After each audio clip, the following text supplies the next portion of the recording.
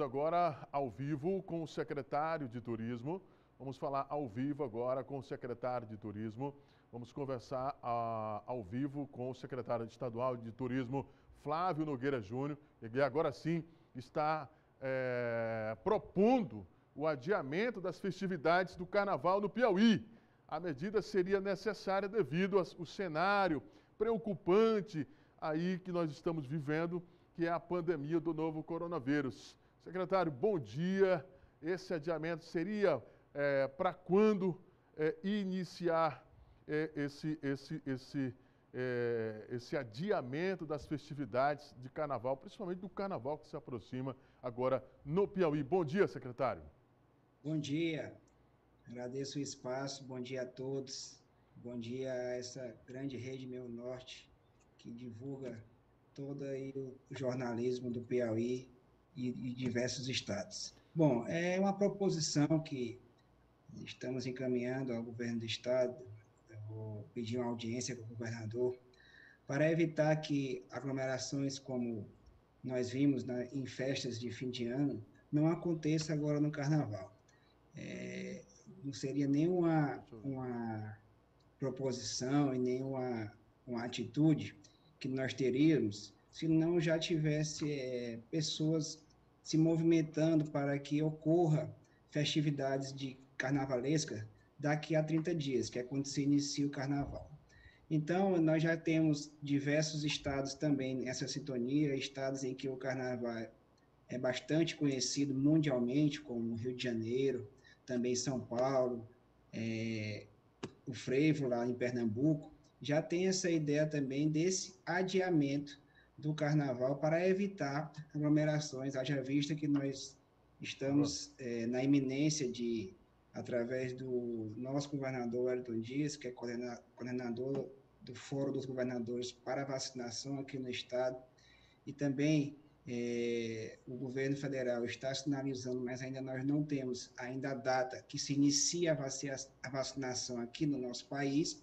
Então, é, é, é uma medida, de certa forma, de saúde, porque carnaval a gente sabe que tem um contato direto, aglomerações, abraços, beijos nas pessoas, e a gente sabe que essa, esse contato contribui para a contaminação de pessoas que porventura não estão ainda imunizadas com o vírus. Secretário Flávio Nogueira Júnior, nós sabemos do compromisso do senhor com a população e principalmente agora nós estamos vendo com a vida, mas diante desse cenário de festas, de festividades, no município de Teresina, capital do Piauí, o senhor tem tido um diálogo, porque é, já começa a se falar no curso, na história do curso, maior do mundo, e aí qual é a preocupação do senhor da, e da sua equipe? É, houve algum diálogo com o município nesse momento? É, nós, é, essa proposição é, é nós é, começamos a, a, difundir, a divulgar ontem, e nós vamos procurar, sim, o prefeito, doutor Pessoa, com toda a sua equipe, quem faz parte através do, do, do presidente da fundação, o Chevan Lima, e toda a equipe do, da Prefeitura de Teresina, para que, se possível, dessa forma, a gente também consiga adiar é, o curso de Teresina, que já é famoso por muito tempo como o maior curso do mundo.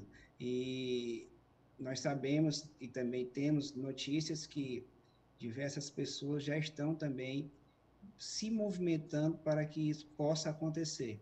E acredito também, como o prefeito, doutor Pessoa, por também, assim como eu, ser médico, tem a sensibilidade, tem o conhecimento, é, como homem público e da saúde, que aglomerações desse tipo não, não é propícia nesse momento que nós estamos vivendo. Nós sabemos que, por mais que o esforço do governo do Estado, o esforço de todos os entes federativos, em que, a, em que se inicia uma vacinação, mas nós temos uma perspectiva que ela se inicie a partir do final desse mês, e o carnaval é no início do outro mês. Então, não daria tempo de imunizar todos os brasileiros e principalmente os piauienses e aquelas pessoas que vêm do, para o curso de Teresina de outros estados e também para o Carnaval do Piauí, também de outros estados. Então, é, é uma medida que a gente pensa é, e propõe para que o adiamento lá para as festividades de junho, julho, que é mais ou menos o que a gente possa entender que já que já exista uma, uma imunização em massa, mas caso também não não exista essa imunização em massa, a gente também irá propor lá na frente que não se adie mais, que se cancele. Oh, exatamente, o senhor falou corretamente no sentido que o governador não descarta um novo lockdown. Como é que fica a situação, principalmente no litoral piauiense, o mais belo do mundo, nós temos a certeza disso, mas é, secretário, nós sabemos que, como disse o senhor agora há pouco, é, outras pessoas de outros estados é, sempre é, frequentam nesta época do ano o litoral do Piauí. Como é que fica as medidas restritivas? Como é que fica as fiscalizações nesse período é, que, de, das festividades? Perfeito. O nosso litoral, embora seja o menor, mas, como você já disse, certamente ele é o mais belo do nosso país. E de uns, de uns anos para cá, cerca de 4, 5 anos, a busca ao nosso litoral, não só dos piauienses, mas de outros é, estados e até nível mundial, tem sido corriqueira. É, se você for, por exemplo, hoje, lá no litoral, continua a, é, o número de turismo de turistas continuam lá hoje. Hoje, dia é, quinta-feira, o litoral está cheio é, de pessoas querendo conhecer Cajueiro da Praia, Barra Grande, Luz Correia, Parnaíba, Ilha Grande, enfim, o delta do Parnaíba. Só que nós temos que ter todas as medidas preventivas para que as pessoas que chegam de outros estados e até aqui do nosso estado não transmitam o vírus para as pessoas também que lá residem. Sabemos que é, não só aqui no Piauí, mas em todo o Brasil, nós não temos leitos de UTI suficiente para abraçar a, essa pandemia, não só aqui no país, mas em todo o mundo.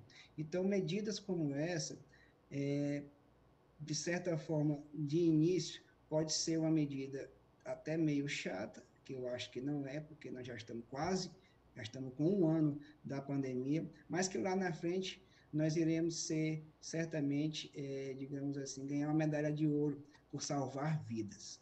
Tá certo, então, agradecendo o secretário de Turismo, Flávio Nogueira Júnior. Obrigado aí, secretário. Muito obrigado mesmo. Tenha um bom dia. Eu que agradeço, estou sempre à disposição. Um grande abraço. Tá certo, então vamos que vamos. Deixa agora eu falar para você da Hora Telecom. Qual é a sua internet, hein, Bangaré? Hora, hora. A Hora Telecom é a internet que te oferece vantagem.